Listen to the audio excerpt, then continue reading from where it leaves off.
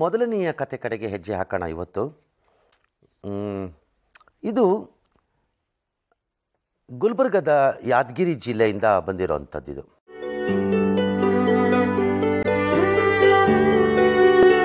ಹೀಗೆ ಗುಡಿಸಲಿನಲ್ಲಿ ಕಷ್ಟಪಟ್ಟು ವಿದ್ಯಾಭ್ಯಾಸ ಮಾಡುತ್ತಿರುವ ಈಕೆಯ ಹೆಸರು ರೇಷ್ಮಿತಾ. ಯಾದಗಿರಿ ಜಿಲ್ಲೆಯ ಗುರುಮಿಟ್ಕಲ್ನ ತಡಿಬಿಡಿ ಗ್ರಾಮದಲ್ಲಿ ಸದ್ಯ ಅಕ್ಕನ ಜೊತೆಗೆ ವಾಸವಾಗಿದ್ದಾಳೆ. ಈಕೆಯ ಪೋಷಕರು ಹತ್ತು ವರ್ಷಗಳ ಹಿಂದೆ ಕೂಲಿ ಕೆಲಸಕ್ಕೆ ಅಂತ ಹೈದರಾಬಾದ್ಗೆ ಹೋಗಿ ಅಲ್ಲಿಯೇ ನೆಲೆಸಿದ್ದಾರೆ.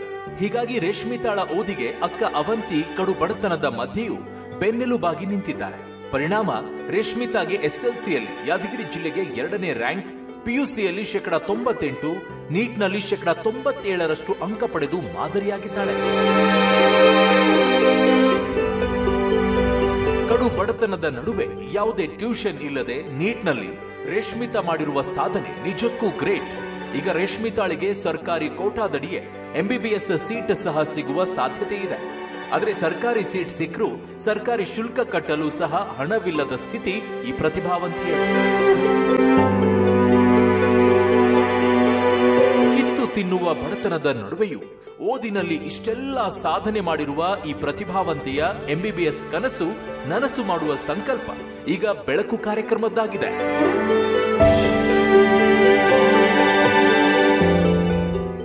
ಆಲ್ ರೈಟ್ ನೋಡೋಣ ಈಗೇನು ಪರಿಸ್ಥಿತಿ ಇದು ಅಂತ.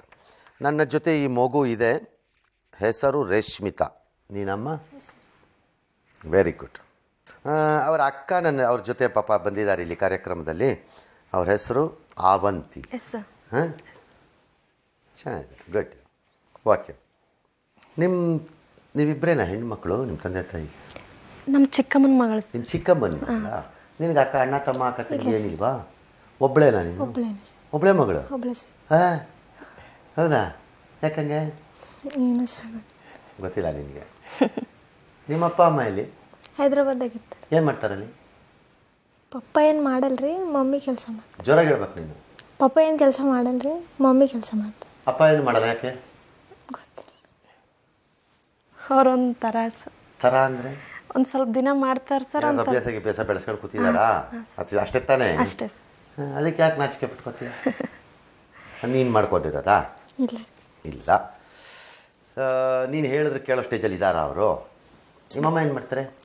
ಫ್ಯಾಕ್ಟ್ರಿದಾಗ ಕೆಲಸ ಮಾಡ್ತಾರೆ. ಫ್ಯಾಕ್ಟರಿನಲ್ಲಿ ಕೆಲಸ. ಲೇಬರ್ ನೀವು ಹೌಸ್ ವೈಫಾ ಹಾಂ ನಾನು ಹೌಸ್ ವೈಫ್ ಮನೆಯಲ್ಲಿ ಹಾ. ನೀವು ಓದ್ಲಿಲ್ವಾ? ಸೆಕೆಂಡ್ ಪಿ ಯು ಸಿ ಓದಿದ್ದೆ ಸರ್ ಹೀಗೆ ಮಿಡಿಲ್ ಕ್ಲಾಸಲ್ಲಿ ಓದ್ಸೋಕ್ಕಾಗಲ್ಲ ಅಂತ ಮ್ಯಾರೇಜ್ ಮಾಡಿಬಿಟ್ಟಿದ್ರು ಈಗೀಗಾದರೂ ನಾನು ಓದಿಸ್ಬೇಕು ಅಂತ ನನ್ನ ಆಸೆ. ಈಗ ಇಲ್ಲಿ ಓದಿಸ್ತಿರೋದು ನೀವಾ? ಐಸಿ ಎಷ್ಟು ವರ್ಷದಿಂದ? ಆಲ್ಮೋಸ್ಟ್ ಒನ್ ಟು ಸಿಕ್ಸ್ತ್ ತಾತ ಅವ್ರ ಬಳಿ ಹೊಸಪೇಟ್ನಲ್ಲಿ ಓದಿದಾಳೆ ಸರ್. ಫೀಸ್ ಕಟ್ಟಕ್ ಆಗ್ತಾ ಇಲ್ಲ ಅಂತ ನನಗೆ ಪರಿಚಯ ಇದ್ದ ತಡಬಿಡಿ ಸುರೇಶ್ ಸರ್ ಅಂತಿದ್ದಾರೆ. ಅವರು ಮೊರಾರ್ಜಿ ದೇಸಾಯಿ ಸ್ಕೂಲ್ನಲ್ಲಿ ಇನ್ಚಾರ್ಜ್ ರೀ. Morarji Desai M D R ಎಸ್ನಲ್ಲಿ seventh to tenth free seat ಸಿಕ್ಕಿದೆ ಸರ್. ಈ ಹಂಗೆ ಹೋಗೋ ಬರ್ತಾ ಇದ್ಲು ನನಗೆ ಇಬ್ಬರು ಗಂಡು ಮಕ್ಕಳು ಸರ್ ಸಣ್ಣ ಎರಡು ಗಂಡು ಮಕ್ಕಳು ಹಾ. ಯಜಮಾನ್ರು ಕೂಲಿ ಇದು ಏನು ಕೃಷಿ ಮಾಡ್ತಾರಾ?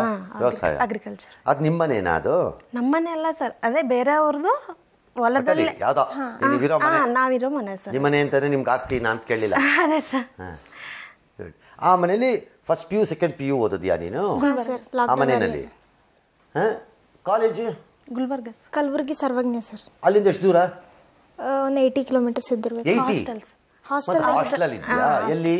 ಸರ್ವಜ್ಞ ಕಾಲೇಜ್ ಓ ಅಲ್ಲಿದ್ಯಾ ಅಲ್ಲಿ? ಫಸ್ಟ್ ಇಯರ್ ಲಾಕ್ಡೌನ್ ಇತ್ತಲ್ಲ ಸರ್ ಮನೆಗೆ ಓದಿದ್ದೆ ಸೆಕೆಂಡ್ ಇಯರಿಗೆ ಹೋಗಿದ್ದೆ ಸರ್ ಕಷ್ಟ ಆಗ್ಲಿಲ್ವಾ ಲಾಕ್ಡೌನ್ ಓದಕ್ಕೆ?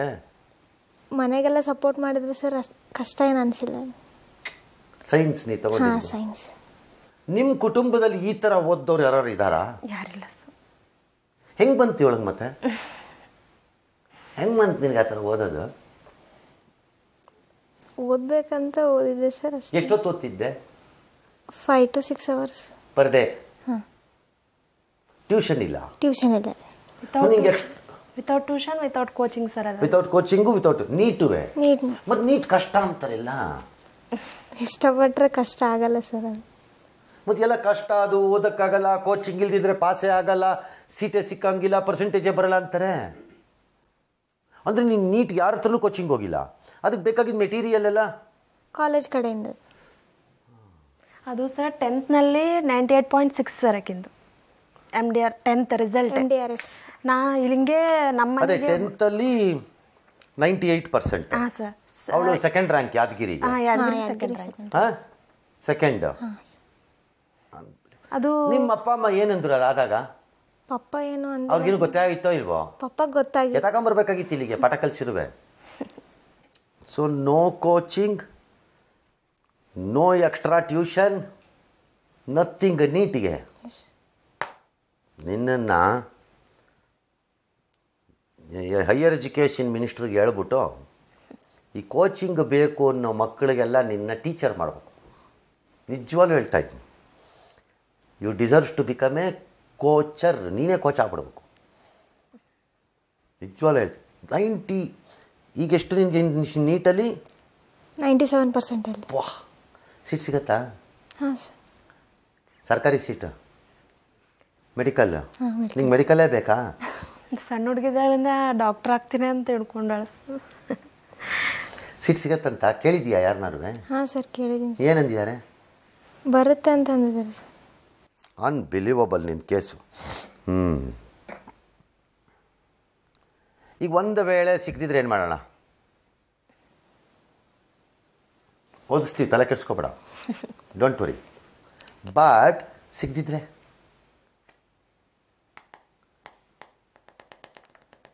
ಸಿಗದೇ ಇದ್ದರೆ ಇಂಜಿನಿಯರಿಂಗ್ ಮಾಡ್ತೀನಿ ಐ ಐ ಟಿ ಬರೀಲಿಲ್ವಾ ಜೆ ಇ ಇಲ್ಲ ಹಾಂ ಬರ್ದಿಲ್ಲ ಸರ್ ಬರ್ದಿಲ್ಲ?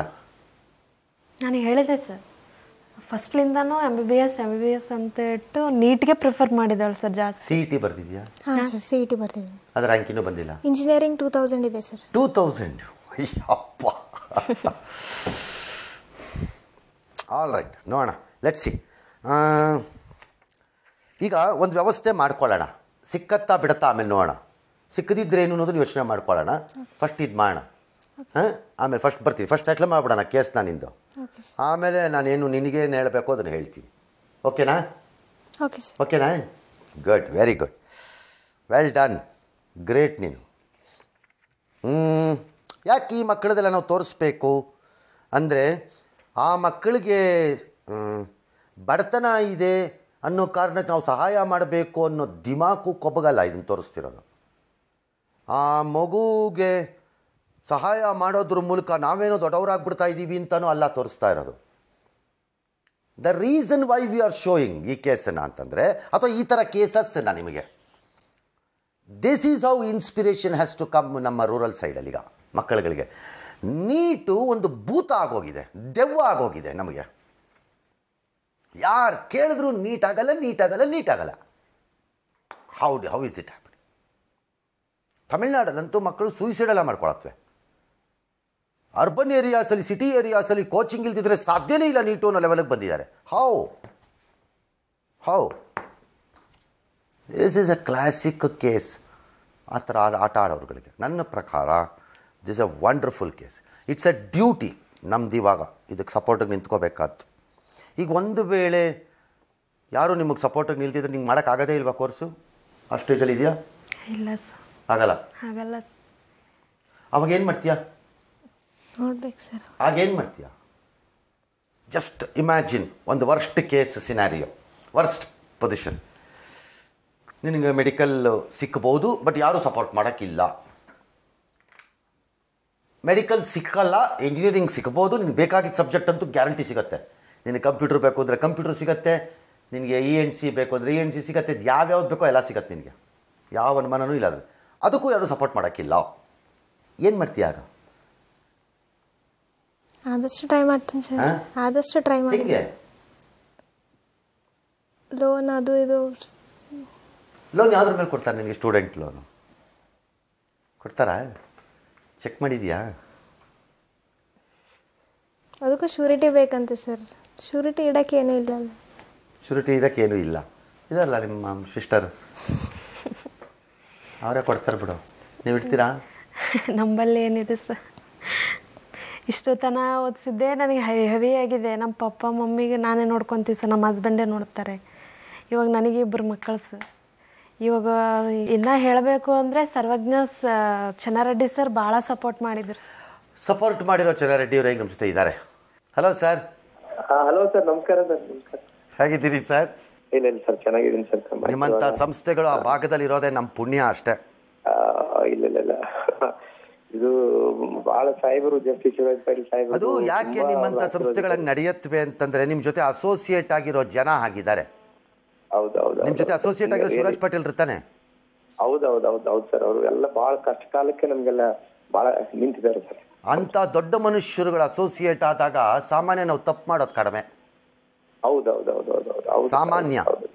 ಈಗ ಅವಳಿಗೆ ಸೀಟು ಸಿಕ್ಬೋದು ಮೋಸ್ಟ್ಲಿ ಹೌದು ಸರ್ ಹೌದು ಸರ್. ನನ್ನ ಲೆಕ್ಕಾಚಾರದಲ್ಲಿ ಸಿಕ್ಕತ್ತ ಅವಳಿಗೆ? ಸಿಗತ್ತೆ. ಸಿಕ್ಕಾಗ ಏನು ಮಾಡೋಣ? ಇಲ್ಲ ಸಿಕ್ಕಾಗ ಓದ್ಬೇಕು ಸರ್ ಅವ್ರಿಗೆಲ್ಲ. ಹೌದು ಸರ್. ನೀವು ಓದಿಸ್ತೀರಾ? ಹ್ಞೂ ಇಲ್ಲ ಡೆಫಿನೆಟ್ಲಿ ಸರ್. ಅಯ್ಯೋ ಅಯ್ಯ ಸಾಹೇಬ್ರು ಕೂಡ ಹೇಳಿದ್ದಾರೆ. ಇಲ್ಲ ಆಕೆಗೆ ಏನ್ ಫೀಸ್ ಏನೇನ್ ಬೇಕು ಅದನ್ನೆಲ್ಲ ನಾವು ಕೊಡೋಣ ಚೆನ್ನಾಗಿ ಅಂತ ಹೇಳಿದ್ದಾರೆ. ಸರ್ ಈಗ ಅವಳು ಅವಳಿಗೆ ಸಿಕ್ಕಿದ್ರೆ ಓದ್ಸೋಣ. ಒಂದು ವೇಳೆ ಸಿಕ್ಕಿದ್ರೆ ಲೆಟಸ್ ಪುಷರ್ ಇಂಟು ಇಂಜಿನಿಯರಿಂಗ್ ಅಷ್ಟೇ. ಹಂಗ್ ಮಾಡೋಣ ಅಷ್ಟೇ. So nice of you sir ತಾವು ಯಾವಾಗ್ಲಾರು ಬೆಂಗಳೂರು ಕಡೆ ಬಂದಾಗ ದಯಮಾಡಿ ಬನ್ನಿ ನಿಮ್ಮನ್ನ ಒಂದ್ಸರಿ ಸರ್ ಮಾತಾಡಿಸ್ಬೇಕು ಮಾಡಬೇಕು. ಬಹಳ ಕಡಿಮೆ ಸರ್ ಬರ್ತೀನಿ ಸರ್ ದಯಮಾಡಿ ಬನ್ನಿ ಸರ್. ದೊಡ್ಡ ನಮಸ್ಕಾರ. So sir sir. ನಮಸ್ಕಾರ. You. Thanks, thanks. ಈಗ ಅಷ್ಟು ಮಾಡು. ಸಿಕ್ಕಿದ್ರೆ we will see to it ನಿನ್ನ ಫೀ ಕಟ್ಟೋ ವ್ಯವಸ್ಥೆ ಮಾಡಿಕೊಡ್ತಾರೆ. ಓಕೆ ಇನ್ನು ಉಳಿದಿದ್ದೇನೇನೋ ಸಣ್ಣ ಪುಟ್ಟ ಸಪೋರ್ಟ್ಗಳಿರುತ್ತೆ ಅದು ನಾನು ಯಾರಿಗಾರು ಹೇಳ್ತೀನಿ. ಬುಕ್ಸು ರಿಲೇಟೆಡ್ ಇಶ್ಯೂಸು ಈ ಥರದ್ದು ಏನೇನೋ ಇರುತ್ತೆ. ಅದನ್ನು ಯಾರ್ಯಾರು ಹೇಳ್ತೀನಿ ನಾನು. ಯಾರೂ ಸಿಕ್ಕದಿದ್ರೆ ನಾನೇ ಮಾಡ್ತೀನಿ ತಲೆ ಕೆಡಿಸ್ಕೊಬೇಡ. ಲಾಸ್ಟ್ಲಿ ಒಂದು ಹೇಳ್ತೀನಿ. ನಾವೆಲ್ಲ ಮಾಡುತ್ತಿರುವುದನ್ನು ಏನೋ ಧರ್ಮ ಮಾಡ್ತಿದ್ದೀವಿ ಅನ್ನೋ ಭಾವನೆಯಲ್ಲಿ ಸಿಕ್ಕಾಕೋಬೇಡ. ಅರ್ಥ ಆಗ್ತಿದೆಯಾ? ನನ್ನ ಓದಿಗೆ ಒಂದು ಮನ್ನಣೆನ ಗೌರವವನ್ನು ಕೊಟ್ಟಿರ್ತಾ ಕೊಡ್ತಾ ಇದ್ದಾರೆ. ಆದರೆ ಇದನ್ನು ನಾನು ರೀಪೇ ಮಾಡೋದು ಹೇಗೆ ಅಂದರೆ ಥ್ರೂ ಮೈ ಸರ್ವೀಸ್ ಅನ್ನೋದನ್ನು ಜ್ಞಾಪಕ ಇಟ್ಕೊ. ನಾನು ನಾಳೆ ಓದಿದ್ಮೇಲೆ ಸರ್ವಿಸ್ ಮಾಡ್ತೀನಲ್ಲ ಅದು ಅವ್ರಿಗೆ ನಾನು ರೀಪೇ ಮಾಡ್ತಿರೋದು.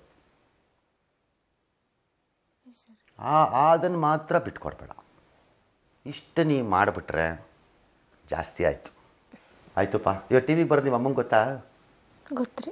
ಪರ ಹೇಳ್ತಿದ್ಯಾ? ಹೇಳಿದ್ಯಾ? ಏನಂದ್ರೆ ಸರ್. ಏನಂದ್ರು? ಇನ್ನೊಂದಿಲ್ಲ ಸರ್. ಖುಷಿ ಪಟ್ಟೆ ಏನು? ಅಲ್ಲೋಗಿ ಏನು ಲಾಭ ಅಂತ ಕೇಳಿದ್ರಾ? ದೇವ್ರು ನಿಂಗೆ ಒಳ್ಳೇದು ಮಾಡಲಿ. God bless. Thank you sir. ಚೆನ್ನಾಗಿ ಓದು ಎಷ್ಟು ಜನಕ್ಕೆ ನಿನ್ನಂಥ ಅವರುಗಳಿಗೆ ಸಹಾಯ ಮಾಡೋಕ್ಕಾಗತ್ತೆ ಅಷ್ಟು ಜನಕ್ಕೆ ಮಾಡು. ಗೊತ್ತಾಯ್ತಾ? That is all you can repay ಯಾರ್ಯಾರು ನಿನಗೆ ಈ ಲೆವೆಲ್ಗೆ ಬರೋಕ್ಕೆ ಸಹಾಯ ಮಾಡಿದಾರೋ ಅವ್ರಿಗೆ. ಈ ಲೆವೆಲ್ಗೆ ಬರೋಕ್ಕೆ ನಿನಗೆ ನೀನೇ ಕಾರಣ. ಬೇರೆ ಯಾರೂ ಕಾರಣ ಅಲ್ಲ. ನಾವು ಸಾವಿರ ಹೇಳ್ಬೋದು. ನಾವು ಮನೇಲಿ ಇಟ್ಕೊಂಡ್ವಿ ಓದಿಸಿದ್ವಿ ಕಷ್ಟಪಟ್ವಿ ನನಗೆ ಹೊರೆ ಆಯಿತು ಸ್ವಲ್ಪ ಇಲ್ಲ ಅಂತಲ್ಲ. ನಾನು ಕಷ್ಟಪಟ್ಟಿದ್ದೀನಿ ಅದಕ್ಕೆ ಅಂತನೋ ಅಥವಾ ಅಮ್ಮನೋ ಅಪ್ಪನೋ ವಾಟ್ ಎವರ್ ಇಟ್ ಇಸ್ ಅಥವಾ ಚೆನ್ನಾರೆಡ್ಡಿ ಅವರು ಯಾರು ಏನು ಬೇಕಾದ್ರೂ ಹೇಳ್ಬೋದು. ನಿನಗೆ ನೀನೇ ಕಾರಣ. ಬಿಕಾಸ್ ನಾವು ಇವರೆಲ್ಲ ಮಾಡಿದ್ದಕ್ಕೆ ನೀನು ಓದ್ದೇ ಇದ್ದಿದ್ದ ಪ್ರಯೋಜನ ಏನು? ಅಲ್ವಾ? ಆ ಹೆಮ್ಮೆಯಿಂದ ಇರು ಬಟ್ ಅದು ಆರೋಗ್ಯನ್ಸ್ ಆಗೋದು ಬೇಡ. ಆರೋಗ್ಯನ್ಸ್ ಅಂದರೆ? ಅಹಂಕಾರ ಎಕ್ಸಾಕ್ಟ್ಲಿ ಅದಕ್ಕೆ ಹೋಗ್ಬೇಡ. Okay all right doctor worry go and get a seat this a wonderful story ಅಂತ ಅನ್ನಿಸ್ತಾ ಜನಕ್ಕೂ ಇವತ್ತು. ಅನಿಸಿರುತ್ತೆ. ಈ ಥರದ ಮಕ್ಕಳುಗಳಿಗೆ there's to be some system where we need to support ಇಲ್ಲದೇ ಇದ್ದರೆ ಪ್ರಯೋಜನ ಆಗಲ್ಲ. ದಟ್ಸ್ ಹೌ ಐಕಾನ್ಸನ್ನು ಕ್ರಿಯೇಟ್ ಮಾಡಬೇಕು ಎಜುಕೇಷನಲ್ಲಿ ಈ ಥರದ ಹತ್ತು ಮಕ್ಕಳುಗಳ ಕಥೆಯನ್ನು ಇವಾಗ first P U C second P U ಸಿಲಿರೋ ಮಕ್ಕಳುಗಳು ಕೇಳ್ತಾ ಇದ್ದರೆ they are bound to be influenced ಪದೇ ಪದೇ ಪದೇ ಪದೇ ಅದ್ಭುತವಾದ ಸ್ವಾತಂತ್ರ್ಯ ಹೋರಾಟಗಾರರ ಕಥೆನೋ? ಅಥವಾ ಯಾರೋ ಒಬ್ಬ ಕ್ರಿಕೆಟರ್ ಕಥೆಗಳು? ಕ್ರಿಕೆಟರೇ ತಗೊಳ್ಳೋಣ. ಲೆಟ್ಸ್ ಟೇಕ್ ಎ ಕ್ರಿಕೆಟ ಒಬ್ಬ ಕ್ರಿಕೆಟ್ ಆಟಗಾರ, ನಾಲ್ಕೈದು ಜನ ಕ್ರಿಕೆಟ್ ಆಟಗಾರರ ಅದ್ಭುತವಾದ ಕಥೆಗಳು. ಅಥವಾ ತುಂಬ ಒಳ್ಳೆ ಓದಿದ್ದಾರೆ ಅಂತ ಅಕ್ಕಪಕ್ಕದ ಮನೆಯವರ ಕಥೆಗಳು. ಇವೆಲ್ಲ ಕೇಳ್ತಾರೆ you are bound to be influenced ಆ ಇನ್ಫ್ಲೂಯೆನ್ಸು ನೀಟನ್ನು ಭೂತ ದೆವ್ವ ಪಿಚಾಚಿ ಅಂದ್ಕೊಂಡಿರೋ ಎಲ್ಲ ಮಕ್ಕಳುಗಳಿಗೆ ಪರಿಚಯ ಮಾಡಿಸ್ಲಿಕ್ಕೆ ಇದು ಕ್ಲಾಸಿಕ್ ಕೇಸ್ ಇದು.